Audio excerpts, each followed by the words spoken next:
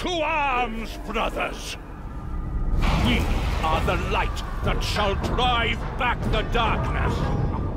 Trading card games have been around for a long time, and we've seen a lot come and go, with Magic the Gathering being the top dog in the physical card space, closely followed by Pokemon TCG. But a new opponent has entered the ring Warhammer Age of Sigmar Champions. Does this TCG have what it takes to stand on its own, or will it go into the bargain bin sooner than expected?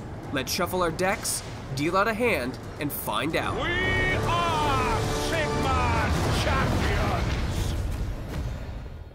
The company behind Warhammer Age of Sigmar Champions, let's just call it Champions for short, may sound familiar.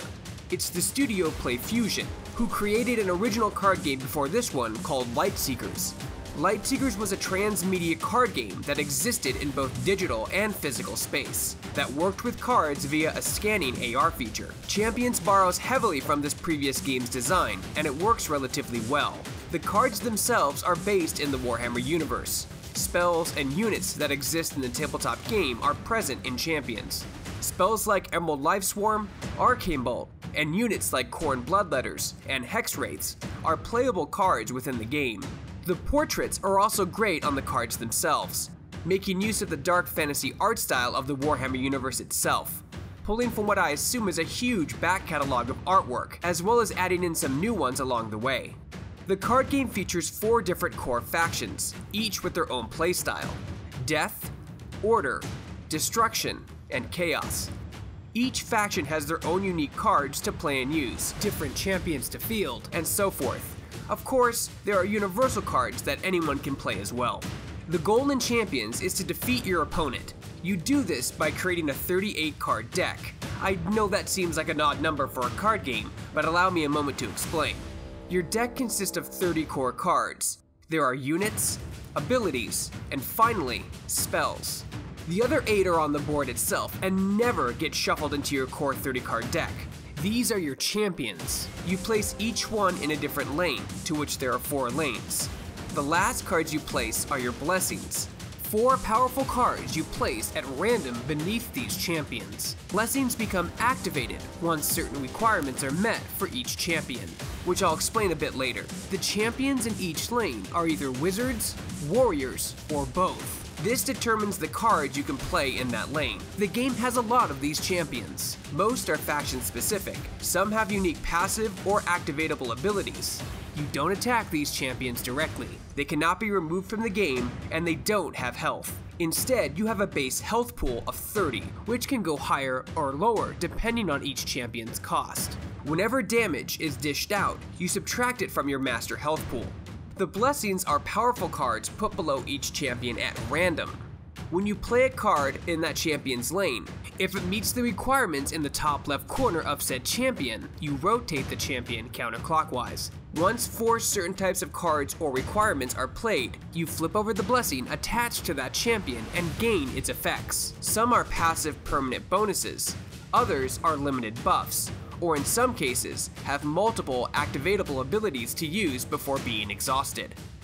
You play cards using actions. Unlike Pokemon TCG, Magic the Gathering, and even Hearthstone, there are no resources in Champions per se. Instead, you're given two actions per turn to play a unit, ability card, use a heroic action, or cast a spell. Some cards have an instant effect, like ability cards. However, unit and spell cards follow an innovative formula. At the start of your turn, any unit or spell cards played last turn rotate counterclockwise. Then their abilities kick in for X amount. Some of these cards deal direct damage to your opponent. Others cause you to gain health or draw cards. It all depends on the number in the top left corner of the card and its flavored text. For every action you don't use at the end of your turn, you draw cards. There are some cards that allow you to gain more actions or draw cards, but these seem rare. The two actions per turn mechanic is what makes the game really shine, making each turn as equally as important as the next, playing a major role in your tactics in deciding strategy. Do you play cards or draw cards? Since the resource of every action is always two per turn, it makes for a more enjoyable game. Where in card games that have playable resources, like lands or energy, can cause the game to start off relatively slow and ramp up quickly toward the end. Turn 10 on a Magic the Gathering game, for example, can get pretty bonkers depending on how much land you have. This 2 action per turn system makes for a better overall experience, making the pace of the game better balanced for the entire length of the match. Warhammer Age of Sigmar Champions also features a fully digital version for free to download on Android, iOS, Steam, and Nintendo Switch. This digital game is identical to the physical version in every way. However, there's great innovative integration with the physical card game itself. This isn't the first game to do something like this. In Pokemon TCG, you get a QR code to scan that comes in a physical pack of cards you purchase. This nets you a digital booster pack of that set to add to your Pokemon digital collection. Champions does one better. Instead of giving you a random pack of cards via a QR code, each card itself has a unique digital code along the borders, giving you that exact card, not a random pack of cards.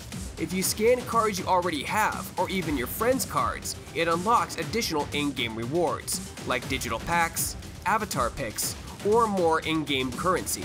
The digital version of the card game is great, allowing you to build decks, view your collections, do daily or weekly challenges to obtain more digital cards, and of course, you can buy digital packs in the in-game store with premium or free currency, earned by simply playing matches.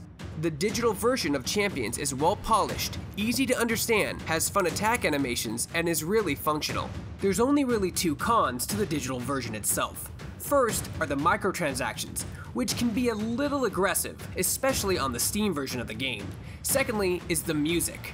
The consistent drumming gets old fast, and you'll be quickly muting the music in-game. Warhammer Age of Sigmar Champions has a lot of great ideas. Combine this with the rich and deep Warhammer universe, and you have the makings of a great card game that's different and unique enough to hopefully stand against the two big behemoths that are Magic the Gathering and Pokemon. At the time of this review, the card game currently has three sets the base set, Onslaught, and most recently, Savagery. If you're looking for a fun and new card game that has both physical and digital elements, you should definitely check out Warhammer Age of Sigmar Champions. For more videos like this and everything else gaming related, you're already in the right place. You're on ShackNews.com.